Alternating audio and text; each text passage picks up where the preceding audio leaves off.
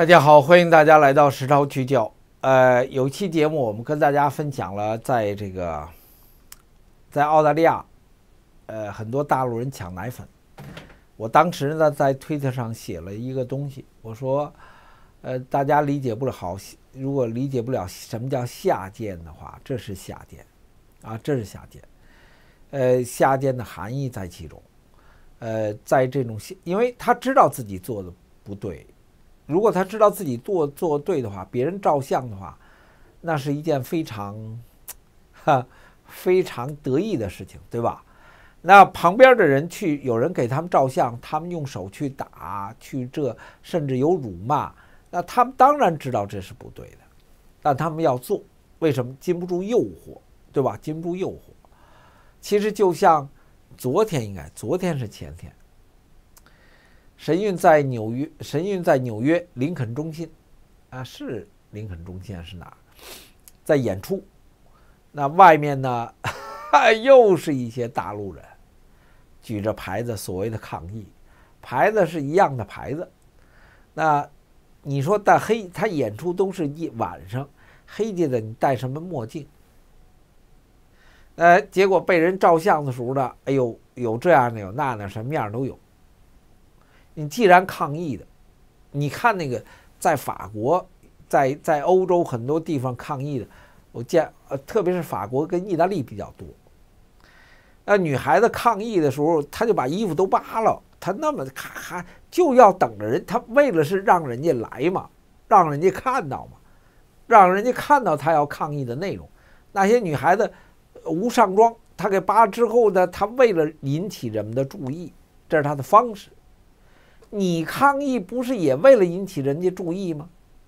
那人家向你去注意的时候，你就跟孙子似的，跟那个王八壳似的，跟那王八脑袋似的，你全缩在壳里头，那你算个什么东西啊？下贱就在这里啊！下贱就在这里呀，这是真的。那结果有朋友说：“涛哥，我得跟你商榷一下，这个我不太认可。”呃，是因为国内的那奶粉实在没办法吃，那家长们为了孩子就这么做，有多少人是为了家长这么是自己的孩子？不是，对不对？很多人是透过现在的，呃，什么支付宝、阿里巴巴，透过网上东西往往国内贩卖而已，对不对？他是赚钱的，他要不是赚钱，只是孩子吃。有朋友留言说：“你妈奶不够啊？”哈哈，就说这意思了。国内的奶粉出问题，就像现在说的假疫苗似的。我自己有朋友说：“涛哥，你说一说期节目，我觉得不是新闻，啊，我个人觉得不是新闻。哪些疫苗是真的？哪些奶粉是真的？这些东西的产生的原因都是生命下贱所致，一环套一环。”他的生命的下贱的一环套一环的下贱，直到今天，中共最上层中南海的主人都是下贱。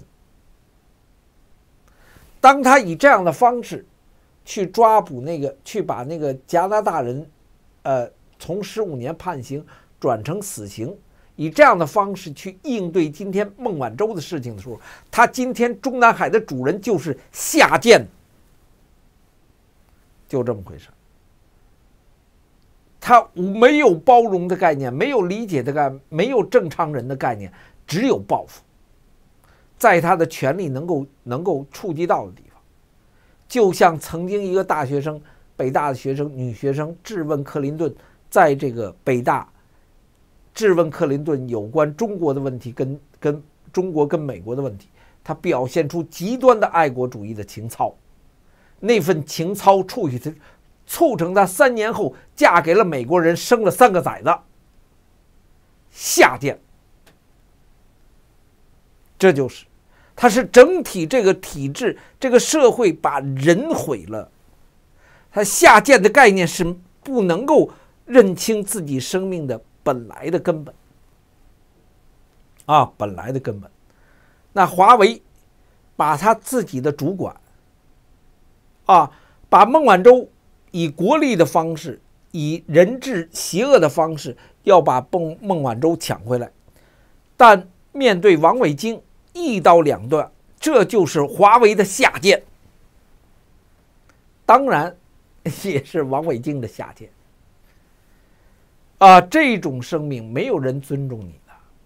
华尔街，因为大的媒体呢，他们周末都休息，所以《华尔街日报》在报道这件事情呢，他做了一个最新的更新，十五号七点二十分，呃，两个小时之前，一个小时之前的更新，解雇在波兰被指从事间谍活动的高管，呃，王伟京，那他称他对公司的全球声誉呢造成了不良的影响。所以这是一种双方性的下贱了，呃，我以为就是这样了。那在文章的内容呢，有些是我们都曾经分享过的，他披露出一些细节，啊，披露出一些细节，呃，这是解除他的关系。然后呢，波兰官员讲没有指王伟京的案子跟华为之间有关系。星期五抓捕了波兰的。华为驻波兰的销售总监王伟京涉嫌从事高级别间谍活动。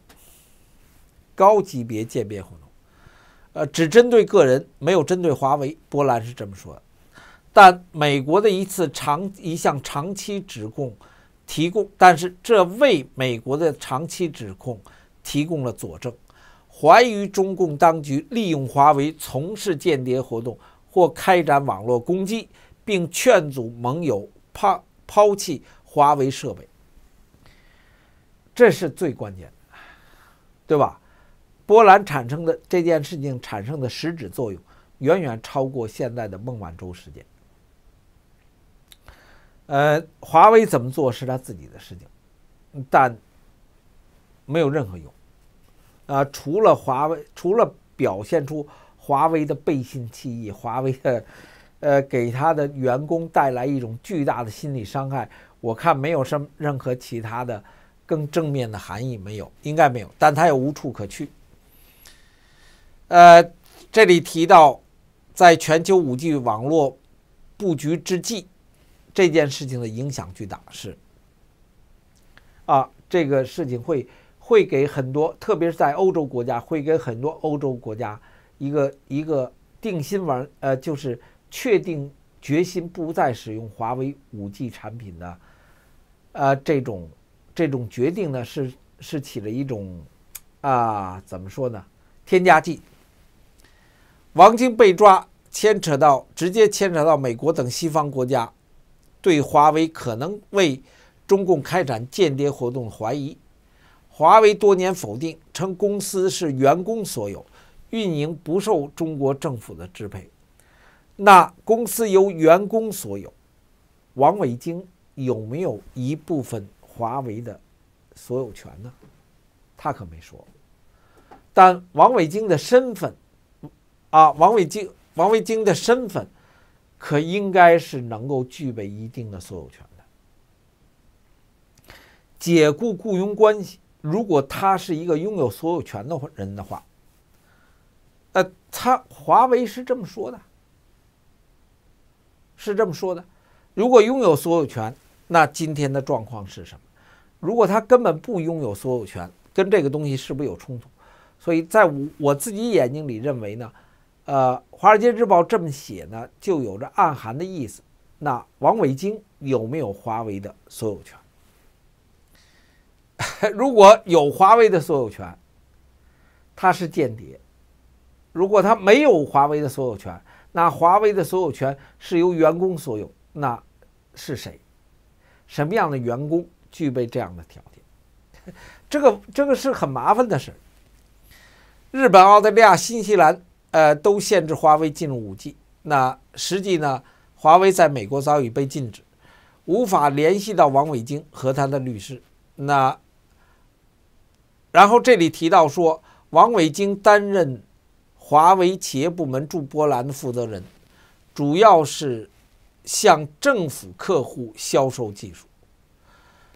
波兰是华为关键市场，呃，为四个主要网络运营商提供服务，同时是波兰第二大手机供应商，占四分之一的市场份额。那所以它对波兰而言就是这么一个，就是这么个份额，说明华为在波兰的影响巨大啊！华为在波兰的影响巨大，那波兰政府下手抓它，一定是有着相当确凿的证据，而且波兰政府下手抓它，是有着波兰政府的真正的相当深厚的考虑。哦，我以为相当深厚的考虑，所以我刚才的说法就是，如果是这么深厚的话，王伟京有没有华为的所有权的一部分？呃，相应的分析师。这家公司的分析师说，该公司参与协助波兰最大的运营商 Play 改善 4G 的基站覆盖。Orange 跟 T-Mobile 也聘请华为在波兰推出预商用的、呃商业用的 5G 网络。那如果如果是这个背景之之下，华为呃波兰很可能会禁用禁止这个。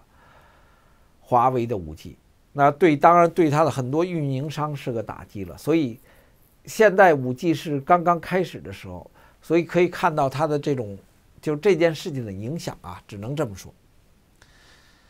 然后这里面又提到了这个华为本身的内容，我觉得没什么可讲，因为多少变了。然后提到外交部的表示，呃，等等等，这也没什么可讲，主要是这一段。王伟京在波兰当地商界很有名气，经常出现在华为赞助的活动上。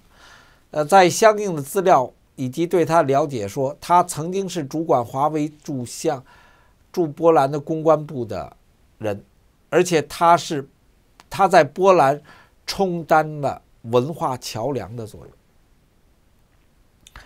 呃，也就变成了王伟京不是一个单纯的人，不是一个单纯。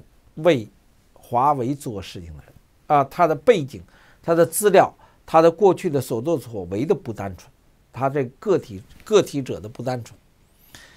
一家旅游推介公司的网站显示，二零一四年，在一个培训项目中，王伟京帮助旅游行业的人适应中国市场。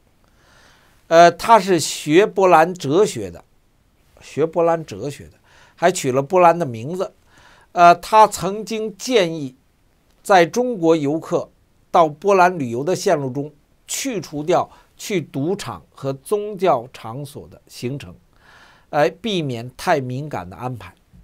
一个组织者听取了他的建议，在中国一个商界团体的旅行中加入了原生态的森林以及没有毒素的化学品工厂。呃，这样的细节介绍，来描绘王伟京在波兰商界的影响力啊，在波兰商界的影响力。所以，王伟京在波兰是个响当当的人物，呃，成为了一种文化桥梁式的名人，呵，那是相当厉害。赌场跟宗教场所，他去建议取消。在中共党的系统当中，中共党的约束的系统当中，他们是不允许这些人去赌场、去宗教、去宗教场所。而在波兰，波兰在摆脱波兰团结工会在摆脱中呃共产党统治时期，呃，与这个天主教与梵蒂冈有着非常紧密的联系。而在波兰共产主义的消失。那天主教教皇起了相当决定性的作用，所以宗教在波兰是根深蒂固的。宗教信仰在波兰的心人的心目中是有着崇尚的地位。那他却建议呢，中国大陆的旅行团，你们不要带他们去这些地方，也就不要让他们认识到真正的波兰是什么，因为。他从换个角度来讲，他在王伟京在替中共做事情，无论他是主动的是被动的，他在替中共做事情，他展现出来的价值观是共产党要求的价值观。感谢朋友们，请食道喝咖啡。